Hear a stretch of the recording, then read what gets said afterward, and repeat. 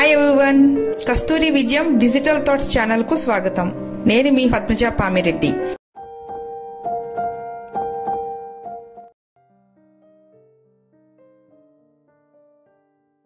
Chapter eleven ఓటమిని గెలుపుగా మార్చుకోవటం ఎలా సామాజిక కార్యకర్తలు తాగుబోతులు తిరుగుబోతులు ఉండే ప్రాంతాల్లో పనిచేసే వాళ్ళు వయస్సులో మతపరమైన నమ్మకాల్లో చదువు సంజల్లో అమెరికాలోని మురికి కూపాల్లో ఉన్న దీనులకి హీనులకి మధ్యన ఉండే తేడాని గమనిస్తారు. వీళ్ళలో కొందరు చాలా చిన్నవాళ్ళు మరికొందరు ముసలివాళ్ళు. చాలా తక్కువ మంది కాలేజీ గ్రాడ్యుయేట్లు. మరికొందరికి అసలు చదివే ఉండదు. కొందరికి పెళ్ళయింది కొందరికి కాలేదు. కానీ ఆ ప్రాంతంలో ఉండే వాళ్ళందరిలోనూ సమానంగా ఒక గుణం మట్టుకు ఉంటుంది.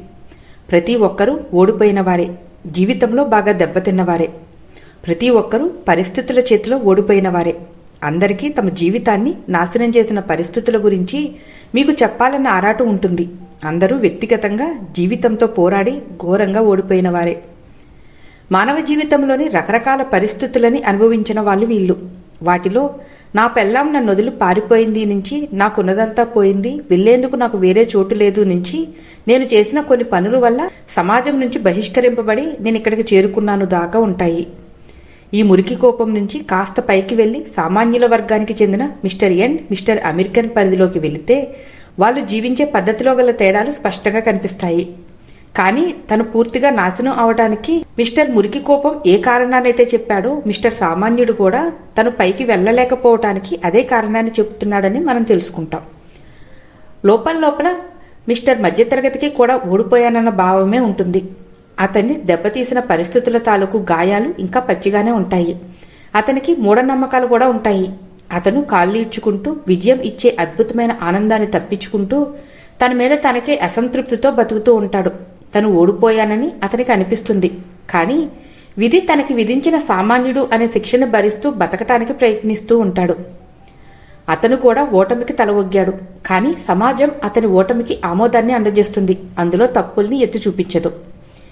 ఇక ఇంకా మెట్లు పైకి ఎక్కి వెళ్తే ఎక్కువ గుంపులు లేని విజేతల ప్రపంచంలోకి అడుగు పెడతాం.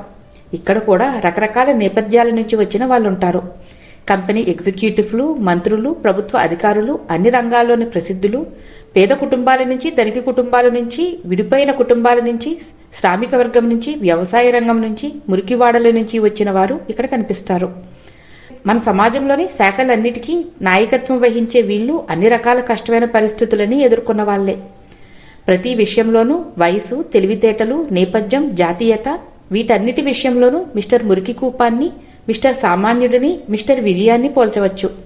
కానీ పోల్చలేని విషయం మాత్రం ఒకటి ఉంది ఓటమికి వాళ్ళు ప్రతిస్పందించే విధం మట్టుకు పోల్చడానికి లేదు. మనం మిస్టర్ మురికి కోపం అని పిలిచే వ్యక్తి దెబ్బతిన్నప్పుడు అతడు మళ్ళీ లేవలేకపోయాడు. అక్కడే నేలని కరుచుకుని పడి ఉండిపోయాడు. మిస్టర్ సామాన్యుడు మోకాల మీదకు లేచాడు. కానీ పాక్కుంటూ వెళ్ళిపోయాడు కనుమరుగవగానే మరోవైపు పారిపోయి మళ్ళీ దెబ్బతినకుండా తనని తాను కాపాడుకున్నాడు. కానీ మిస్టర్ విజయం దెబ్బతిన్నప్పుడు వేరే విధంగా ప్రతిస్పందించాడు. అతను ఒక గెంతుతో ఎగిరిపడి లేచి నిలబడ్డాడు. గుణపాఠం నేర్చుకున్నాడు. దెబ్బతిన్న విషయం మర్చిపోయాడు. పైకి కదలసాగాడు. నా స్నేహితుల్లో ఒకడు మేనేజ్మెంట్ సలహాదారుగా అద్భుతమైన విజయాన్ని సాధించాడు.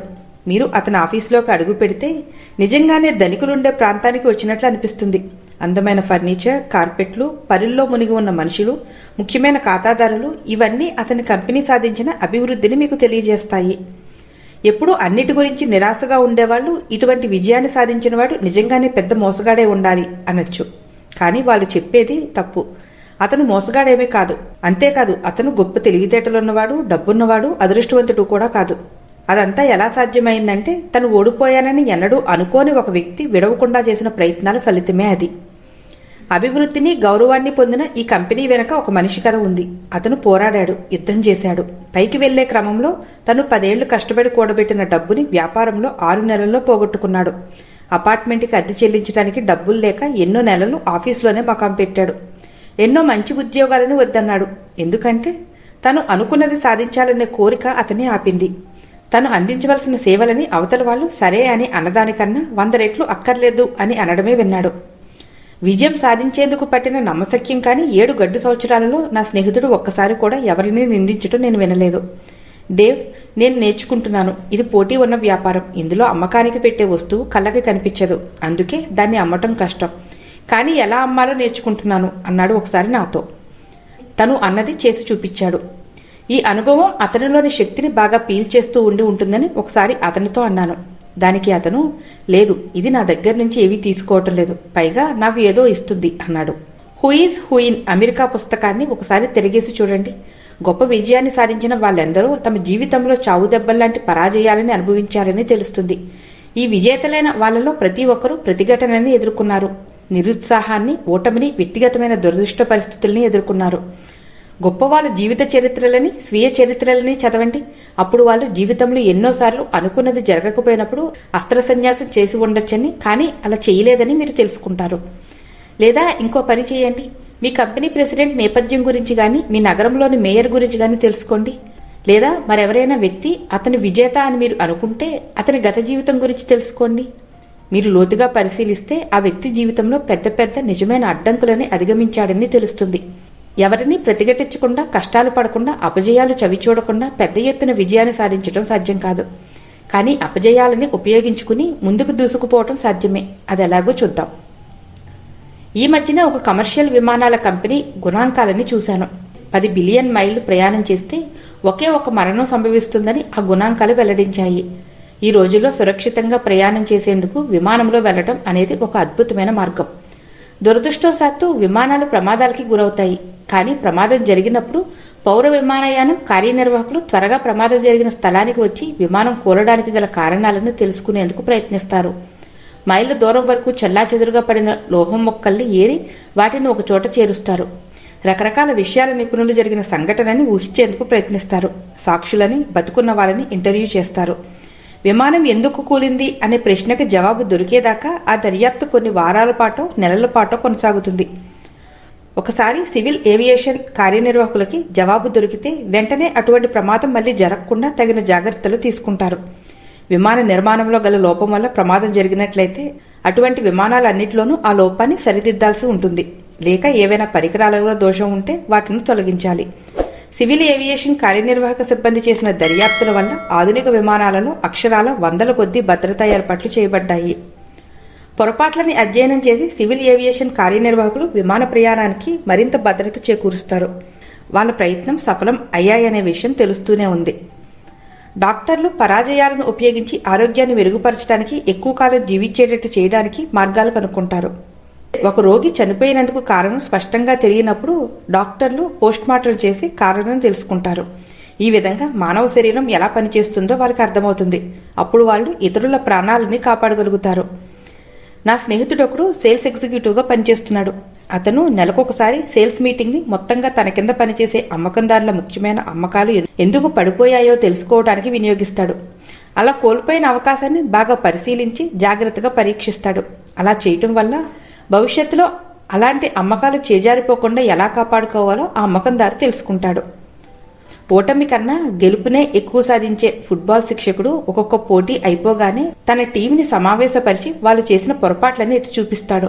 కొందరు శిక్షకులు మొత్తం ఆటని సినిమాలా చిత్రీకరించి టీం తాము చేసిన తప్పులను ప్రత్యక్షంగా చూసి నేర్చుకునేందుకు సాయం చేస్తారు.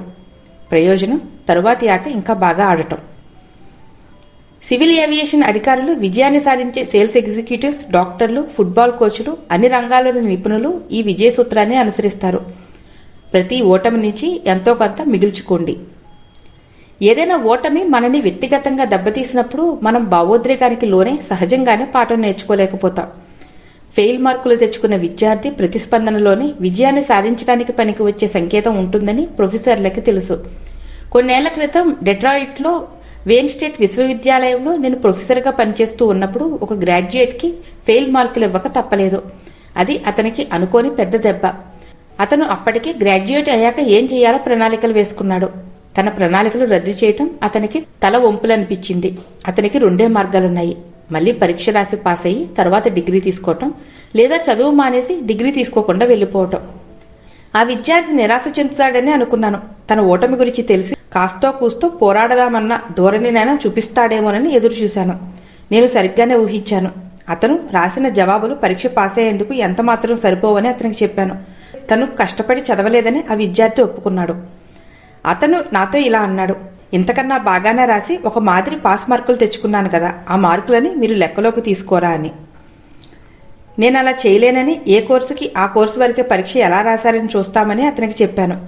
ప్రొఫెసర్ వల్ల ఏదైనా తప్పు జరిగితే తప్ప ఇంకే కారణంగానూ గ్రేడ్లను మార్చడానికి కాలేజీ నియమాలు ఒప్పుకోవని కూడా చెప్పాను. అప్పుడు ఇక తన గ్రేడ్ని మార్చేందుకు ఇంకే మార్గము లేదని తెలిసాక ఆ విద్యార్థి కోపంగా సార్ ఈ ఊళ్ళోనే నాకు తెలిసిన వాళ్ళు యాభై మంది ఉన్నారు. వాళ్ళందరూ జీవితంలో ఈ కోర్సు తీసుకోకుండానే దీని గురించి అసలు తెలుసుకోకుండానే గొప్ప గొప్ప విజయాలు సాధించారు. మరి అలాంటప్పుడు ఈ దిక్కుమాలిన కోర్సు అంత ముఖ్యమైనది ఎలా అయింది? ఒక కోర్సులో కొంత తక్కువ మార్కులు వచ్చినంత మాత్రాన నాకు డిగ్రీ ఎందుకు ఇవ్వరు? అని అన్నాడు. మళ్ళీ అతనే దేవుడు దయవల్ల మీ ప్రొఫెసర్లు చూసినట్లు వాళ్ళు దేన్ని బయట నుంచి చూడరు అన్నాడు. అతను అలా అన్నాక నేను ఒక నలభై ఐదు సెకండ్ల పాటు మాట్లాడకుండా ఉండిపోయాను. ఆ తర్వాత నా విద్యార్థితో ఒక స్నేహితుడిలా నువ్వు అన్నదాంట్లో చాలా వరకు నిజం ఉంది. ఈ సబ్జెక్టుకి సంబంధించిన వివరాలు ఎంత మాత్రం తెలియని వాళ్ళందరూ మరో రకంగా గొప్ప విజయాలను సాధించారు. నువ్వు కూడా ఈ సబ్జెక్టు నేర్చుకోకుండా కూడా విజయాన్ని సాధించవచ్చు. నీ జీవితం మొత్తం తీసుకుంటే ఈ కోర్సులో నేర్పే విషయాలు నీకు లాభాన్ని కానీ నష్టాన్ని కానీ కలిగించవు. కానీ నీకు ఈ కోర్సు పట్ల ఉన్న వైఖరి నీ మీద ప్రభావం చూపిస్తుంది అన్నాను. మీరేమంటున్నారు అని అడిగాడు. ఏమీ లేదు. బయట ప్రపంచంలో కూడా నీకు మేము ఇచ్చినట్లే గ్రేడ్స్ ఇస్తారు. ఇక్కడిలాగే అక్కడ కూడా పని చేయటమే ముఖ్యం. అక్కడ కూడా రెండో స్థాయి పనితనం చూపిస్తే నీకు ప్రమోషన్లు జీతము పెరగటం లాంటివి ఏమీ దొరకవు అన్నాను. నేను చెప్పేది అతని బుర్రలోకి ఇంకేముందు మళ్ళీ నేను కాసేపు మౌనంగా ఉండిపోయాను. ఆ తర్వాత మాట్లాడటం కొనసాగించి నేను నీకు సలహా ఇవ్వచ్చా? నువ్విప్పుడు చాలా నిరుత్సాహంలో ఉన్నావు. నీ మనసు ఇప్పుడు ఎలా ఉందో నేను అర్థం చేసుకోగలను. నీకు నా మీద కొంచెం కోపంగా ఉన్నా కూడా నేనేమీ అనుకోను. కానీ ఈ అనుభవాన్ని సానుకూలమైన దృష్టితో చూడు. ఇక్కడ నువ్వు నేర్చుకోవలసిన ఒక బ్రహ్మాండమైన గుణపాఠం ఉంది. నువ్వు గనక ఫలితాలు చూపించకపోతే నువ్వు అనుకున్న చోటుకు చేరుకోలేవు. ఈ పాఠం నేర్చుకో. ఐదేళ్ళ తర్వాత నీకేమనిపిస్తుందో తెలుసా? ఇక్కడ నువ్వు గడిపిన ఇన్ని ఏళ్ళలో నువ్వు నేర్చుకున్న అతి గొప్ప పాఠం ఇదేనని అనుకుంటావు అన్నాను. కొన్నాళ్ళు పోయాక ఆ విద్యార్థి మళ్ళీ కోర్సులో పేరు నమోదు చేయించుకున్నాడని విని నేను సంతోషించాను. ఈసారి అతను చాలా మంచి మార్కులతో పాస్ అయ్యాడు ఆ తరువాత అతను ప్రత్యేకంగా నన్ను కలవటానికి వచ్చాడు. ఒకప్పుడు మా ఇద్దరి మధ్య జరిగిన చర్చ తనకి ఎంత లాభించిందో స్వయంగా చెప్పాలని అతను నా దగ్గరికి వచ్చాడు. మీ కోర్సు పరీక్షలో మొట్టమొదటిసారి తప్పటం వల్ల నేను ఒక పాఠం నేర్చుకున్నాను. ఇలా అంటే వింతగా ఉంటుందేమో కానీ సార్ మొదటిసారి నేను పాస్ అయినందుకు చాలా సంతోషంగా ఉంది అన్నాడు.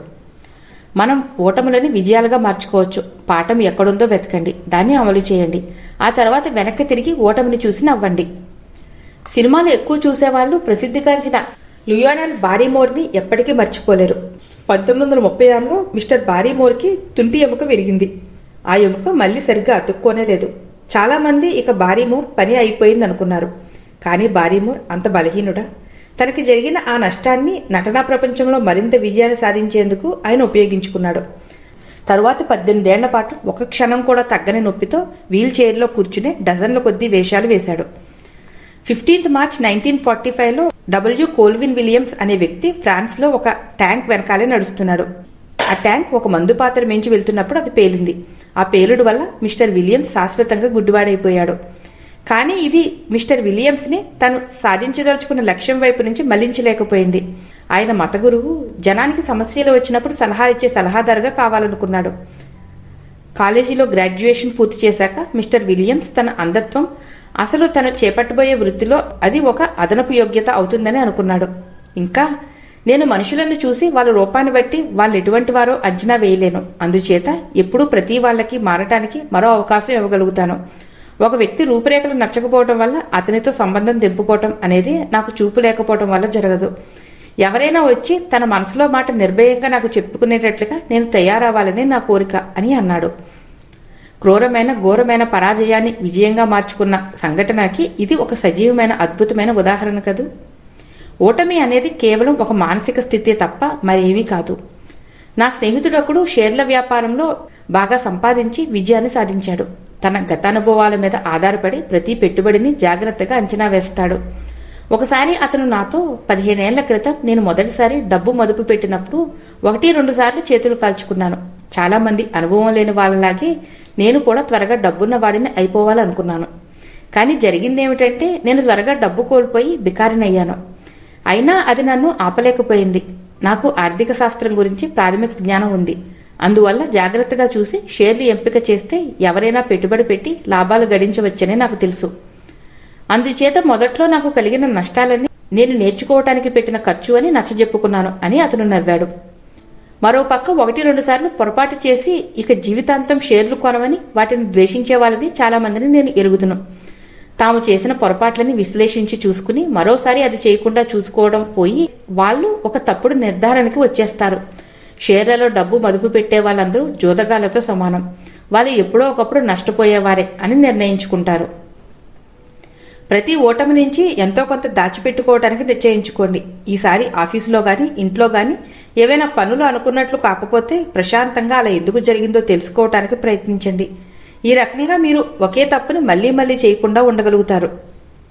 నష్టపోవటం మనకి గుణపాఠం నేర్పినట్లయితే అది కూడా మనకి లాభాన్నే చేకూరుస్తుంది. మనుషులు తమాషా అయిన వాళ్ళు. మనం సాధించిన విజయాలకి వెంటనే మనమే కారణమని ఒప్పేసుకుంటాం. మనం విజయం సాధించినప్పుడు ఈ లోకానికంతా దాన్ని చాటాలనుకుంటాం. ఇతరులు మిమ్మల్ని చూసి అదిగో అతనే ఫలానా పని చేశాడు అని అనుకోవాలని కోరిక ఉండటం సహజమే. కానీ అదే మనుషులు ఓటమి పాలైనప్పుడు ఇంకొకరిని నిందించడంలో కూడా అంతే వేగాన్ని చూపిస్తారు. అమ్మకాలు సరిగ్గా కాకపోతే కొనుగోలుదారులను తప్పుపట్టడం అమ్మకందారులు చేసే పని. తాము అనుకున్న విధంగా పని సానుకూలం కాకపోతే ఎగ్జిక్యూటివ్స్ తమ కింది ఉద్యోగులని తోటి ఎగ్జిక్యూటివ్స్ని నిందిస్తారు.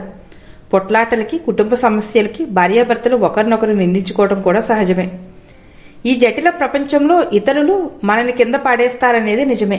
కానీ చాలాసార్లు మనంతటా మనమే పడిపోతూ ఉంటామన్నది కూడా అబద్ధమేవీ కాదు. వ్యక్తిగతమైన లోటుపాట్ల వల్ల మనం చేసే పొరపాట్ల వల్ల మనం ఓడిపోతూ ఉంటాం. ఈ విధంగా విజయానికి మిమ్మల్ని మీరు సిద్ధం చేసుకోండి. వీలైనంత పరిపూర్ణ వ్యక్తిగా తయారవుతానని మీకు మీరు గుర్తు చేసుకోండి. నిష్పక్షపాతంగా ఉండండి. మిమ్మల్ని మీరు టెస్ట్ ట్యూబ్లో పెట్టుకుని మూడో మనిషిలాగా ఎటువంటి ఆసక్తి లేనట్లు పరిస్థితిని పరిశీలించండి. మీరింతకు ముందు గమనించిన బలహీనత ఏదైనా మీలో కనిపిస్తుందేమో వెతకండి. ఒకవేళ ఉన్నట్లయితే దాన్ని సరిచేసుకునేందుకు ఏమైనా చెయ్యండి చాలామంది తాము ఉన్నట్లే ఉండటానికి అలవాటు పడిపోయి మెరుగుపరుచుకునేందుకు మార్గాలని చూడలేకపోతారు. గొప్ప మెట్రోపాలిటన్ ఒపేరా తారా రీసెర్చ్ స్టీవెన్స్ రీడర్స్ డైజెస్ట్ పత్రిక సంచికలో తన జీవితంలోని అత్యంత విషాదకరమైన క్షణంలో తనకి ఎప్పుడూ దొరకనంత గొప్ప సలహా దొరికిందని చెప్పింది. తను వృత్తి చేపట్టిన కొత్తలో మిస్ స్టీవెన్స్ రాజధానిలోని సంగీత నాటకం ఆడిషన్స్ ఆఫ్ ద ఎయిర్కి ఎంపిక కాలేకపోయింది.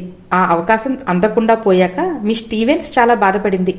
ఆ ఇంకో అమ్మాయి గొంతు కన్నా నాదే బాగుంది అనే మాట వినాలని తహతహలాడాను. న్యాయ నిర్ణేతల నిర్ణయం చాలా అన్యాయంగా ఉందని గెలవటానికి కావలసిన పరిచయాలు నాకు లేవని ఎవరైనా అంటే బాగుండును అనిపించింది. కానీ మీ స్టీవెన్స్ టీచర్ ఆమెని బుజ్జగించలేదు. పైగా ఆవిడ మీ స్టీవెన్స్తో చూడమ్మా నీలోని లోటుపాట్లని ఎదుర్కొనే ధైర్యం నీలో ఉండాలి అని అంది. నా మీద నేనే జాలిపడాలని నాకెంతో అనిపించినా అవి నా మనసులో మళ్ళీ మళ్ళీ మారుమోగసాగాయి. ఆ రాత్రి అవి నన్ను నిద్రలేపాయి. నాలోని లోటుపాట్లని ఎదుర్కొనేదాకా నేను నిద్రపోలేకపోయాను. చీకట్లో అలా పడుకుని నన్ను నేను ఇలా ప్రశ్నించుకున్నాను? నేను ఎందుకు ఓడిపోయాను? ఈసారి ఎలా గెలవగలుగుతాను? అప్పుడు నా గొంతు అన్ని స్థాయిల్లోనూ ఉండవలసినంత చక్కగా లేదు. నా భాషని నేను మెరుగుపరుచుకోవాలి. మరిన్ని పాత్రలు పోషించడం నేర్చుకోవాలి అని ఒప్పుకోవాల్సి వచ్చింది.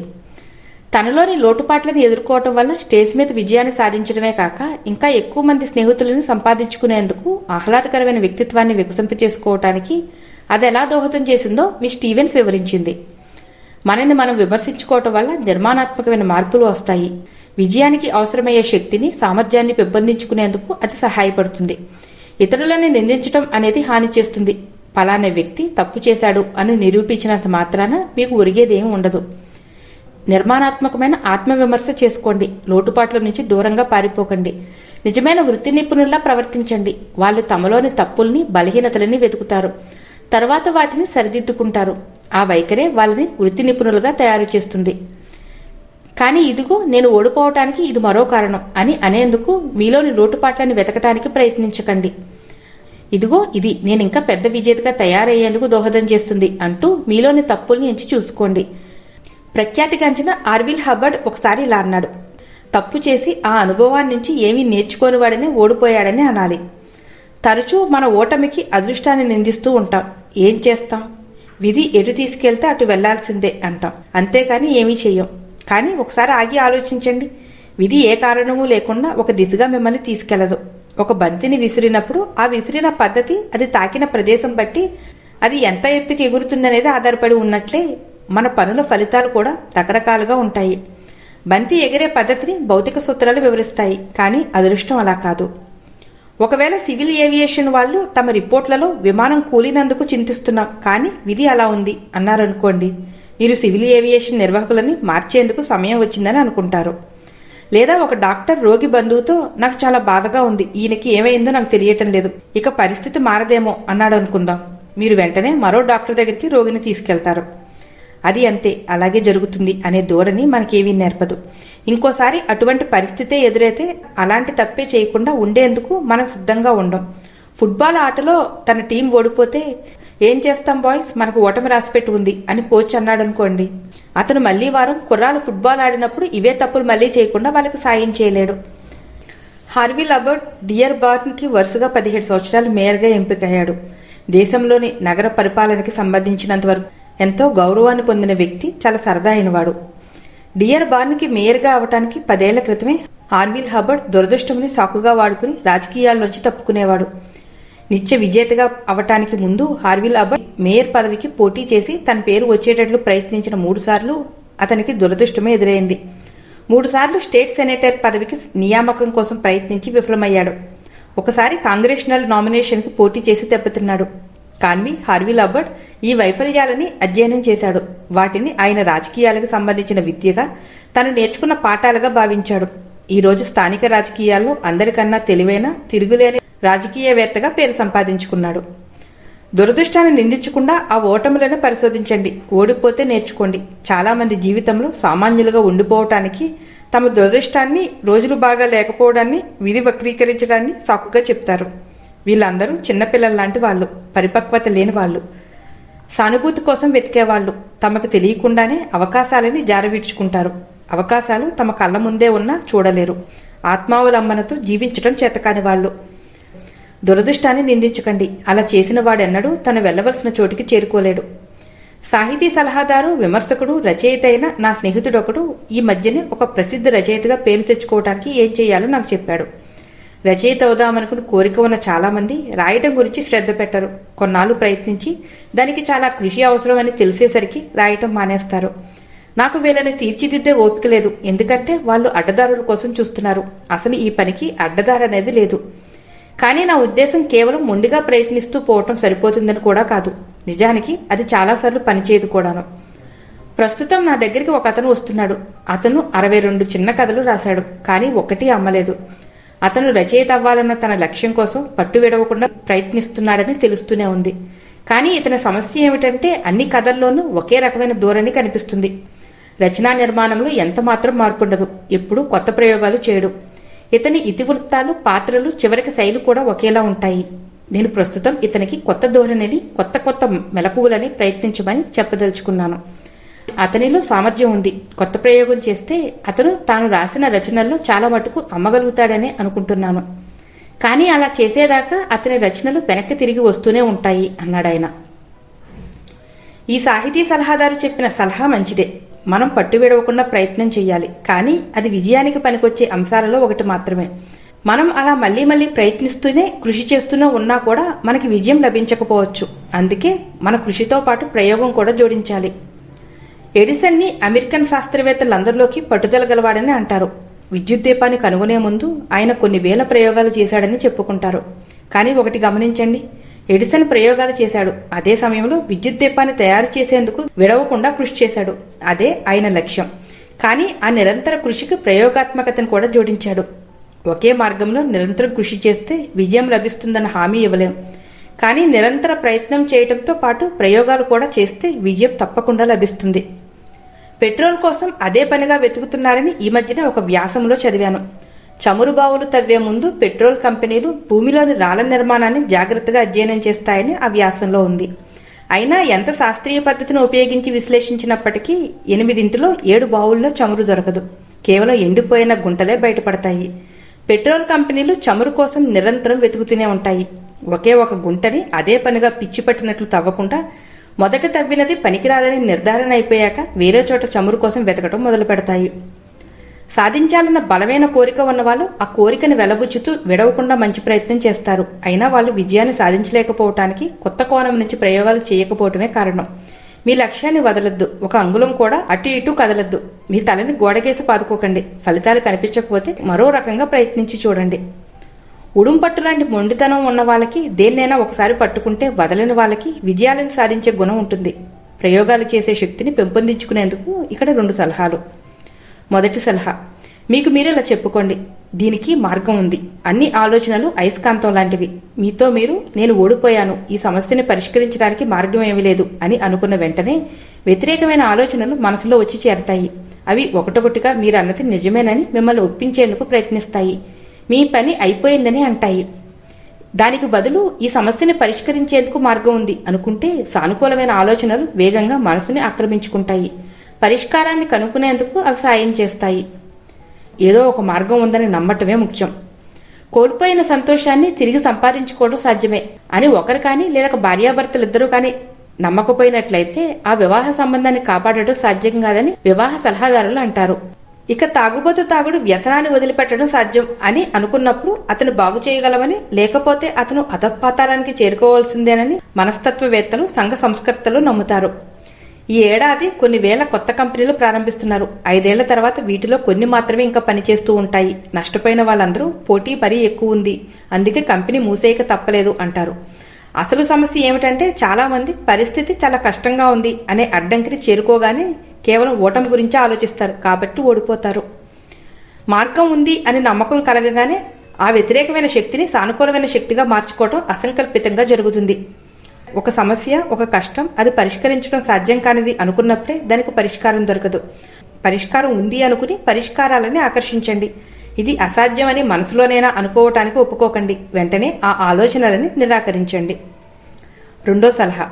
వెనక్కి తగ్గి మళ్ళీ కొత్తగా మొదలు పెట్టండి తరచూ మనం ఒక సమస్యని ఎంతకాలం పట్టుకుని కూర్చుంటాం? అందువల్ల కొత్త పరిష్కారాలని కొత్త మార్గాలని చూడలేకపోతాం. చూడగానే కొత్త రకంగా ఉందని అనిపించే ఒక అల్యూమినియం నిర్మాణం కోసం కొన్ని వారాల క్రితం నా ఇంజనీర్ స్నేహితుడు ఒక అతన్ని ఆ పనికి నియమించారు. నిజం చెప్పాలి అంటే దాన్ని పోలినదేది ఇంతవరకు నిర్మించబడలేదు. అసలు ఎన్నడూ దాని డిజైన్ కూడా చేయలేదు. కొన్ని రోజుల క్రితమే అతన్ని కలిశాను. తను కడుతున్న కొత్త నిర్మాణం ఎంతవరకు వచ్చిందని అతన్ని అడిగాను. అంత బాగా రావటం లేదు. బహుశా ఈసారి వేసవిలో నా తోటలో ఎక్కువ సమయం గడపలేదనుకుంటా. కష్టమైన డిజైన్లతో చాలా కాలం కుస్తీ పట్టాల్సి వచ్చినప్పుడు నేను ఆ పని మానేసి కొత్త ఆలోచనలు మనసులోకి వచ్చేందుకు వ్యవధి ఇస్తూ ఉంటాను. వింటే మీరు ఆశ్చర్యపోతారు. కానీ ఒక చెట్టు పక్కన కూర్చుని నీటి గొట్టం పట్టుకుని నీళ్ళతో గడ్డిని తడుపుతున్నప్పుడు నాకు ఇంజనీరింగ్కి సంబంధించిన ఎన్ని కొత్త కొత్త ఆలోచనలు వస్తాయో తెలుసా అని అన్నాడు. ఒక న్యూస్ కాన్ఫరెన్స్లో ప్రెసిడెంట్ ఐసెన్ హోవర్ని ఆయన అన్ని శని ఆదివారాలు ఏదో ఒక చోటకి విహారయాత్రకి ఎందుకు వెళ్తాడని అడిగారు. తనలో ఉన్న సృజనాత్మక శక్తిని వీలైనంత పెంచుకోవాలని అనుకునే ప్రతి వ్యక్తికి ఆయన ఇచ్చిన జవాబు పనికొస్తుంది. మిస్టర్ ఐసెన్ హోవర్ ఏ వ్యక్తి కూడా జనరల్ మోటార్స్ కంపెనీ నడిపేవాడైనా అమెరికా ప్రభుత్వాన్ని నడిపేవాడైనా తన బల్ల దగ్గరే కూర్చుని తలని ఒక పెద్ద కట్ట కాగితాలతో దూర్చినంత మాత్రాన చక్కగా పని చేయలేడు నిజానికి ప్రెసిడెంట్ అయినవాడు తన మనసులోకి పనికిమాలిన చిన్న చిన్న విషయాలు రాకుండా చూసుకోవాలి. ముఖ్యమైన సూత్రాల మీద అంశాల మీద తనంతట తానే అభిప్రాయాలు ఏర్పరచుకునేందుకు సొంతంగా ఆలోచించాలి. అప్పుడే అతను స్పష్టమైన మంచి నిర్ణయాలు చేయగలుగుతాడు అన్నాడు. నాతో ఒకే కంపెనీలో కలిసి పనిచేసిన ఒక వ్యక్తి ప్రతి నెల తన భార్యతో కలిసి డెబ్బై రెండు గంటలు వేరే ఊళ్ళో సరదాగా గడిపి వస్తాడు. ఇలా మధ్య మధ్య పనిచేయటం మానేసి మళ్ళీ కొత్తగా ప్రారంభించడం వల్ల తన మానసిక సామర్థ్యం పెరిగిందని దానివల్ల తన ఖాతాదారులకి తను మరింత విలువైనవాడిగా తయారవుతున్నాడని అతను తెలుసుకున్నాడు. ఏదైనా అడ్డంకి వచ్చినప్పుడు మొత్తం ప్రణాళికనే అవతల పారేయకండి. దానికి బదులు కొంతకాలం పని చేయకుండా ఉండి మనసుని తాజాగా ఉండేటట్లు చూసుకోండి. ఏమీ లేదు. సంగీతం వినటం అలా షికారుకెళ్ళి రావటం చిన్న కునుకు తీయటం లాంటి పనులు చేస్తే చాలు. తర్వాత మళ్ళీ పని చేయటానికి కూర్చున్నప్పుడు మీరు గ్రహించే లోపలే పరిష్కారం మీకు తడుతుంది. ఏ విషయాన్నైనా సానుకూలమైన దృష్టితో చూడటం అనేది కష్టమైన పరిస్థితుల్లో కూడా పనికొస్తుంది. ఒక యువకుడికి ఉద్యోగం పోయినప్పుడు దాన్ని అతను సానుకూలమైన దృష్టితో ఎలా చూశాడో నాకు చెప్పాడు. అతను ఏం చెప్పాడో చూడండి. అప్పులు ఇచ్చే ఒక పెద్ద కంపెనీలో నేను పనిచేసేవాడిని. ఒక రోజు నన్ను హఠాత్తుగా ఉద్యోగంలోంచి తీసేశారు. ఆర్థిక పరిస్థితులు సరిగ్గా లేకపోవడం అనే ఒకనొక సందర్భంలో తమకి అందరికన్నా తక్కువ విలువైన ఉద్యోగులని కంపెనీ పనిలోంచి తీసేసింది. ఆ ఉద్యోగంలో నాకు జీతం అంత ఎక్కువేమీ వచ్చేది కాదు. కానీ నేను పుట్టి పెరిగిన స్థాయికి అది మంచి జీతమే అనిపించింది. ఉద్యోగం పోయిందని తెలిసాక కొన్ని గంటల పాటు నేను విపరీతంగా బాధపడ్డాను.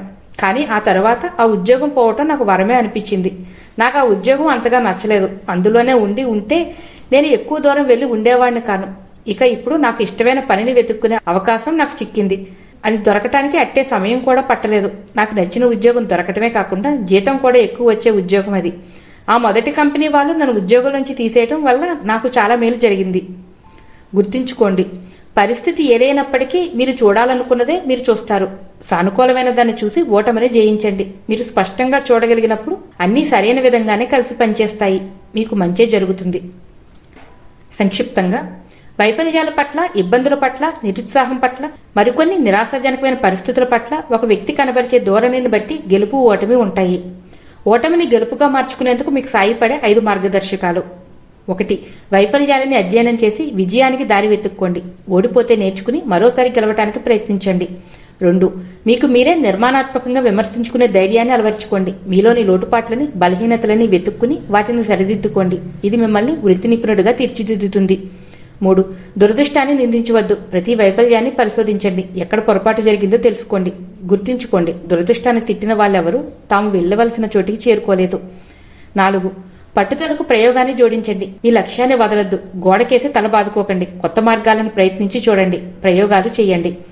ఐదు గుర్తుంచుకోండి. ప్రతి పరిస్థితిలోనూ ఎంతో కొంత సానుకూలత ఉంటుంది. దానికోసం వెతకండి. మంచిని చూడండి. నిరుత్సాహాన్ని పారద్రోలండి.